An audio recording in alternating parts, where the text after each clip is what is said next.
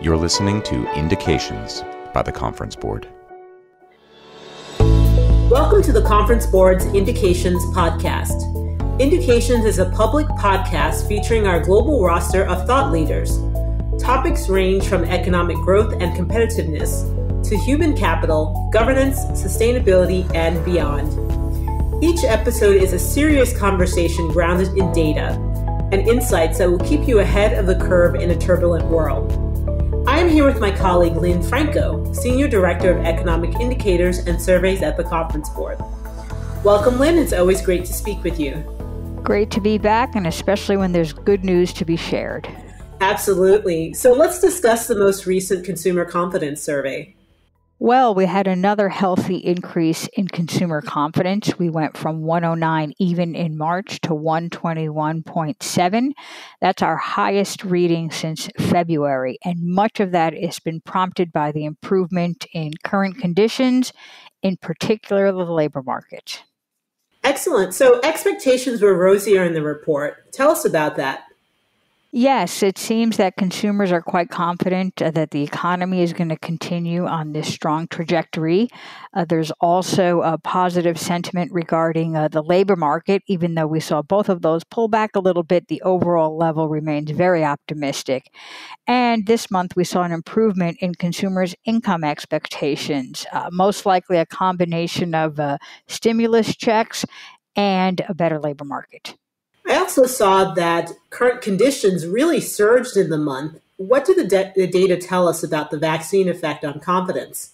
Well, we're seeing that it's having a very positive impact on consumer confidence. So we're getting fewer and fewer consumers who are expressing concerns about COVID 19. Uh, and as the vaccination efforts continue, we expect it to further boost consumer confidence. And it's most evident in consumers' travel plans. So if we take a look at the percent of consumers uh, planning to take a vacation over the next six months, that's increased. And in particular, those now willing to fly has increased as well. That's amazing. I'm certainly looking forward to traveling. So, what about uh, easing in mobility restrictions? Are we seeing any evidence of that in the confidence data? I think that's what's helping to boost uh, not only consumer spending, but consumer confidence as consumers can now get out and about and do a little bit more than they could last month. And that's only going to improve in the coming months as we're seeing more and more restrictions lifted. So, talk to us more about buying plans positive news on this front as well. Um, so we see that consumers are more likely to purchase an auto. We saw an uptick there. Uh, we saw an uptick in the percent of consumers who say they intend to purchase a home.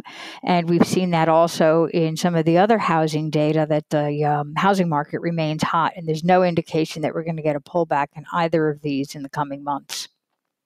Well, Lynn, you mentioned that people are thinking about vacationing. Where are they going and how are they getting there? Well, so far it looks like most of the travel will be domestic. Um, we didn't see an uptick in foreign travel. We've still got, uh, you know, about 24, 25% of consumers who say they prefer to drive, uh, but a big uptick in those willing to fly. Um, you know, uh, two months ago it was at 15.7, and now we're up to 20.4. So we think as the uh, vaccine rollout continues and, um, you know, reopening continues, we're going to see more uh, consumers willing to fly, not only in the US, um, but we see that the EU is contemplating loosening restrictions there as well. So there might be more travel abroad. This news is great and really dovetails with what we're hearing from airlines who anticipate a big surge in activity over the course of this year. So let's talk a little bit about differentiation by segment. What about age and income levels? How are different groups feeling? Well, we're seeing here that, um, you know, we've seen an improvement across all age groups, which is really great. So the under 35 had a nice uh, uptick and has over the last two months, even the 55 and older. And we think that's probably more correlated with a vaccination. So all age groups are more confident than they were a year ago and more confident than they were a few months ago. That's really fantastic that we're seeing better sentiment among the younger groups, especially since they tend to suffer the greatest during economic downturns. So, what about regionally? Are we seeing anything uh, important across the United States in terms of confidence? I think what we're seeing is that the increases are uh, very widespread, right? But still, we have certain states in particular uh, that are leading the pack. So, for instance, Texas confidence is at 127.4, Florida is coming in at 133.5, and California, which had a pretty strong second wave, third wave, uh, is up to 132.1. So, very good news. However, on the flip side, you take a look at Michigan, where we saw a decrease, and we know that um, you know the COVID situation there has been worsening. But overall, still it's above 100 and still in a positive range. So, granted, there are some pockets where consumers are not as optimistic, but it sounds like for the most part across the U.S. we're seeing improved sentiment. So, what factors do you think will help continue to support consumer confidence going forward? It's going to be what happens in terms of the pandemic that seems to be subsiding and also the job market. That's always been the key to consumer confidence. It's highly tied to consumers' financial situation. So, as we begin to see sort of a turnaround, continued reopening, and further job prospects, we can expect uh, consumers to remain confident for the remainder of the year. One final thing uh, we saw that uh, inflation expectations, at least over the next 12 months, really popped up in March. What happened in April?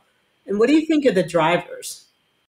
Right now, it's holding steady. So it's still elevated. Consumers are still concerned about inflation.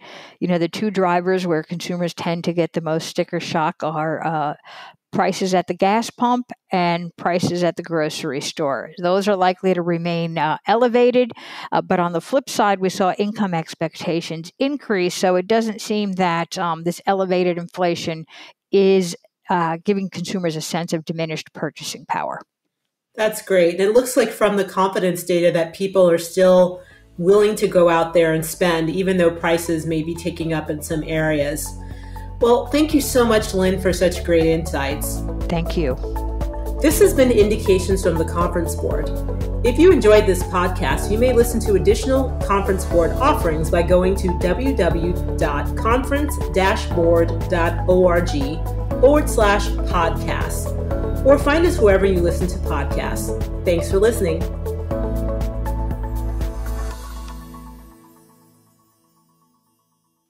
This has been Indications from the Conference Board.